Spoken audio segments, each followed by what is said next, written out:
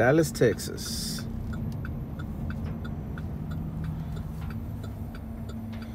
Five forty-five, guys. Five forty-six, and I had to come all the way from the west side of Fort Worth, going all the way to the east side of Dallas. I've been on the road for almost two hours. Traffic is absolutely horrendous. But uh, I'm on my way to a walk-in cooler at a at a location I've never been before. It has a big beaver in the front. I won't say the name, but you know what's up. So I'm on my way over there. Some walk-in coolers down. We'll see if we can get some footage. I'm not exactly sure how it works in there. I've never been to one of them stores, so we'll see you there, guys. But Dallas traffic is horrible. I left at four o'clock. It's almost six, and I'm just getting here to the middle of Dallas. I still got to go all the way to Terrell, which is, uh, I don't know, another 30, 30 minutes east of here. So, yeah. All right, so we're here. This is the problem.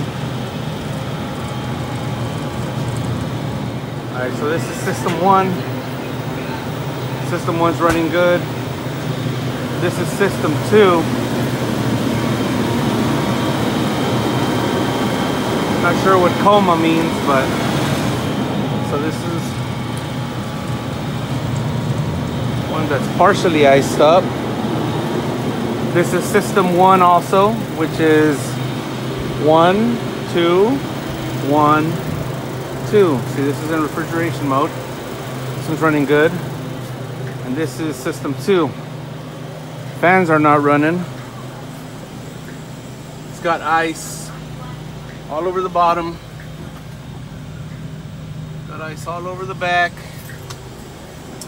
I can hear the refrigeration running. And you can see all that ice buildup right inside. This coil is completely frozen So this sucks big time. So the first thing I'm gonna do is I'm gonna see why these fans are not running. So I'm gonna check my electrical. And once I figure this out, I'm gonna put it into a defrost, possibly shut it off and de-ice the entire coil. So step one, I wanna see why these fans aren't running.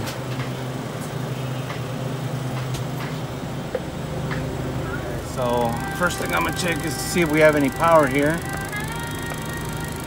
Sorry, right there. No power. Um, so we absolutely have zero power right here. Let's go to the, uh, I never use this, but let's find out the non-contact.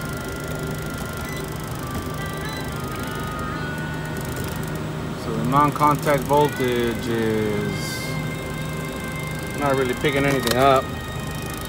Um, so let's go back to volts AC and let me just check from ground.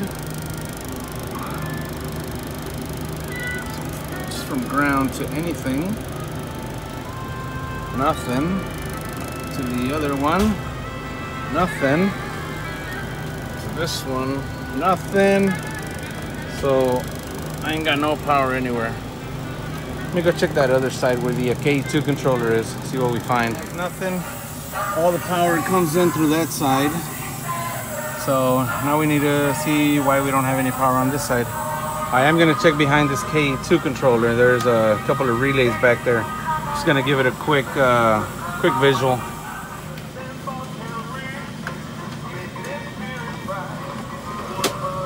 Everything's looking good.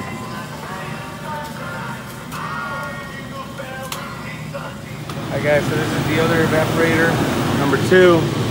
And uh, I'm gonna get a voltage reading in here. So just coming in from the main wires right here. At 120 volts. Now that's being fed right from here, which goes to this box. And then that box goes all the way down to one of those switches down there. Now that switch is on, so I imagine we have a problem in here or way further down the line. So we're gonna open this up real quick. Blue wire right here. This blue wire goes to this evaporator. Then we got the black wire back there.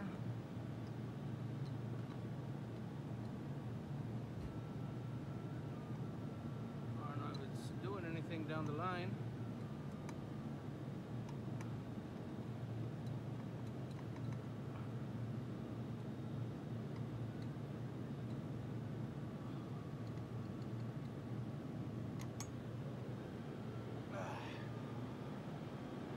Fans are still not running, so we're gonna, gonna have a problem from here down to the box, down to the uh, down to the evaporator. So wonder if this turns into an uh, electrician's job now. But uh, I just don't want to cross any lines with this customer, so I'm gonna get clarification on that, and uh, and we'll see. But you know what? It'd be nice if I could see if this thing has any power going to it. Uh, you know what? Maybe my wire at switch. Let me go check that switch. Alright guys, so this might be our issue right here. Got a bunch of water in there. Still gonna have to pull this uh, switch out.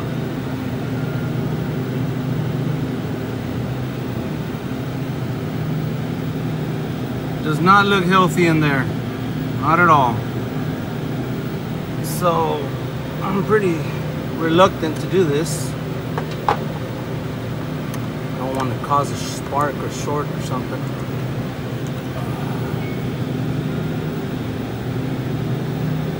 Thinking this is where my issue is. I'm gonna need a new switch. But uh let me use both hands guys. Let me try to get in there better. But I believe this is where we're gonna have a problem. Really corroded back there on the ground. Um, oh, that's pretty corroded. Um, that's where the black wire is. So now we gotta check voltage across these two. All right, I'm gonna try to prop you guys up there.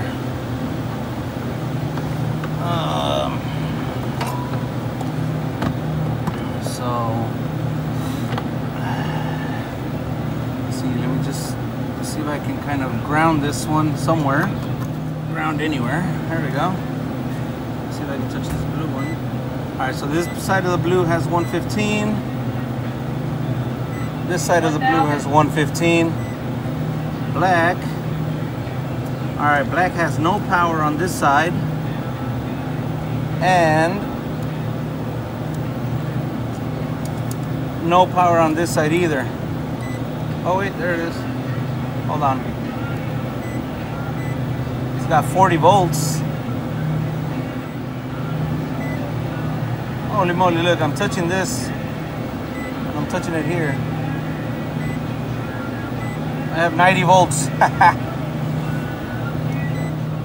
Let me see how hard I gotta touch this one. See, that one I don't have to touch too hard, 120.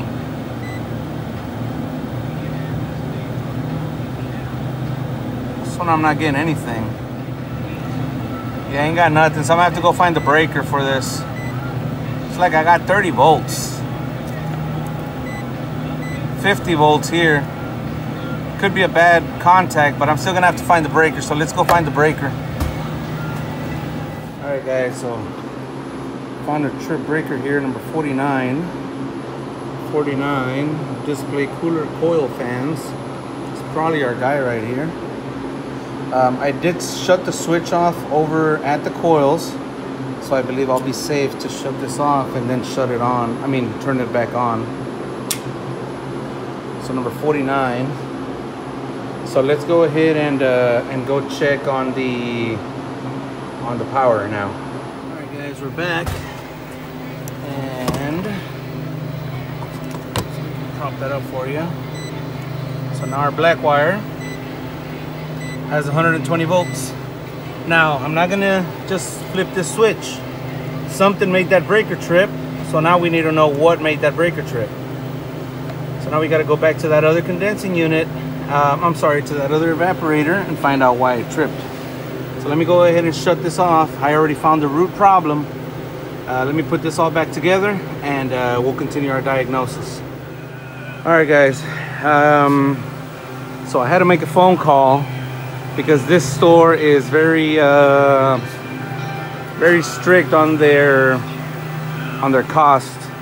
And I had to call one of the main guys and tell him that I was gonna have to disassemble that evaporator, de-ice it, find the short, which we more than likely know it's gonna be in a fan.